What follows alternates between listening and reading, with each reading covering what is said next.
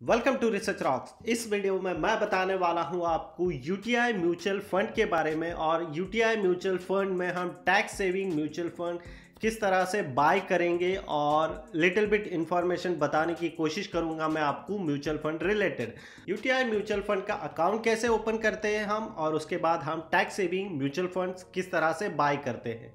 सो so, चलिए शुरू करते हैं वीडियो को। वीडियो को शुरू करने से पहले प्लीज़ सब्सक्राइब कीजिए अपने यूट्यूब चैनल रिसर्च रॉक्स को ताकि आपको रोज़ाना अपडेटेड टेक वीडियोस मिलते रहे। तो चलिए शुरू करते हैं। फ़र्स्ट ऑफ़ ऑल आपको ओपन करना है।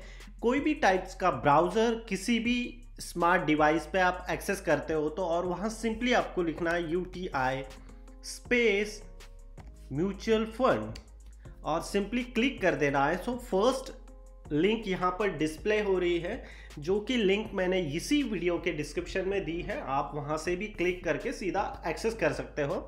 तो सिंपली यहाँ पर आपको क्लिक करना है यूटीआई म्यूचुअल फंड पे। और यहाँ पे बेसिक इन्फॉर्मेशन अवेलेबल होती है। यदि आपको म्यूचुअल फंड बाय करने हैं तो सबसे इंपॉर्टेंट बात आती है कि आपका डिजिटल केवाईसी होना इंपॉर्टेंट है। के मतलब क्या? जैसे कि आपका पैन कार्ड, आधार कार्ड और मोबाइल नंबर, ये तीनों कनेक्टेड होने चाहिए। तभी आप म्यूचुअल फंड बाय कर सकते हो। यदि आपके कनेक्टेड नहीं है, डोंट वरी, आप यहाँ से डिजिटल केवाईसी कर सकते हो। इसी पोर्टल के थ्रू सिंपली आपको यहाँ पर क्लिक करना है और यहाँ पे कुछ इन्फॉर्मेशन आपको फिल करनी है। उसके बाद आपको आपका डॉक्यूमेंट अपलोड करना होता है। जैसे कि आप रजिस्टर करते हो बाय डिफ़ॉल्ट आपके यूनिक आइडेंटिटी पैन कार्ड के थ्रू से। यदि आपका पैन कार्ड नंबर है तो ही आप एंटर कर सकते हो अदरवाइज़ यहाँ पर एंटर करके कोई मतलब नहीं। सो so, आप यहाँ पर एंटर करना है आपको आपका पैन कार्ड और सिंपली रजिस्टर करना है। मैंने इससे पहले ही कर चुका हूँ मैं तो मैं सीधा साइन इन करूँगा। और साइन इन करने के बाद जैसे कि मेरा ये डैशबोर्ड दिखाई दे रहा है आपको मैंने सिंपली कुछ लमसम अमाउंट में इन्वेस्ट किया है यूटीआई म्यूचुअल फंड में और एक एसआईपी जनरेट की है 5000 पर मंथ के हिसाब से, जो कि मेरा tax saving direct growth plan है।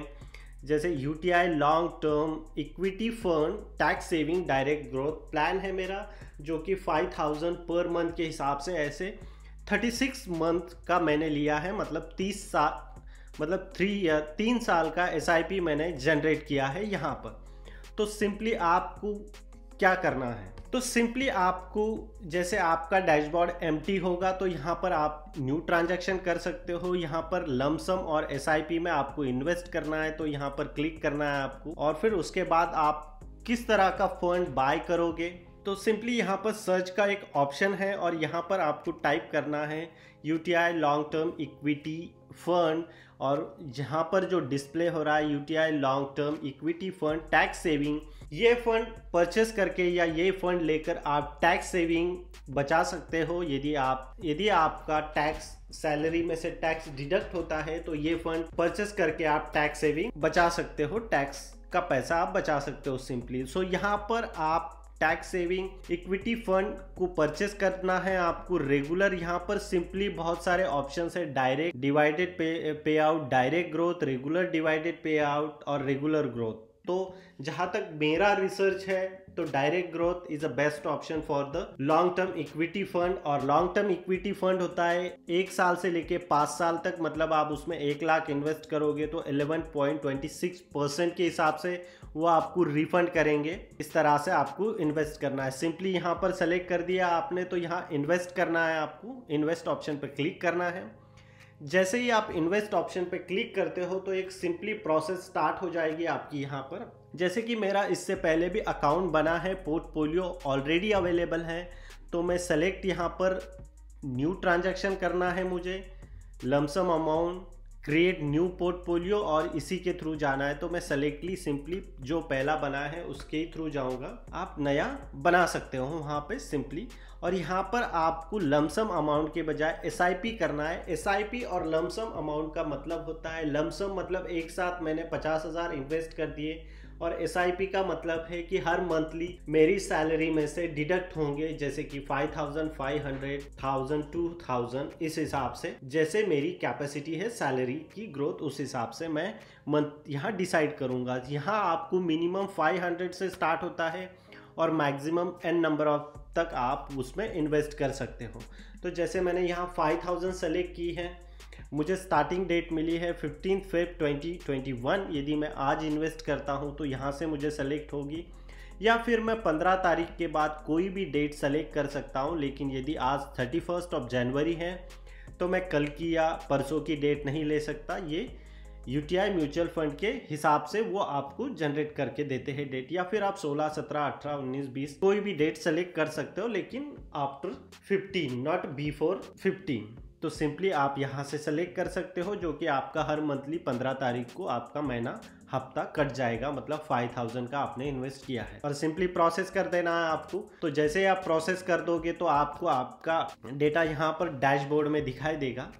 लेकिन डैशबोर्ड में दिखने के लिए आपको उसके लिए दो दिन वेट करना होगा, जैसे कि यहाँ पर वो आपको दिखाई देगा। जैसे मेरा हर मंथ की तीन तारीख को डिडक्ट होता है, tax saving fund five thousand का मैंने मंथली लिया है तो वो यहाँ से डिडक्ट होगा और वो इन्फॉर्मेशन यहाँ पे जनरेट होगी। इट्स वेरी सिंपल और basic information U T I mutual fund it is a best option.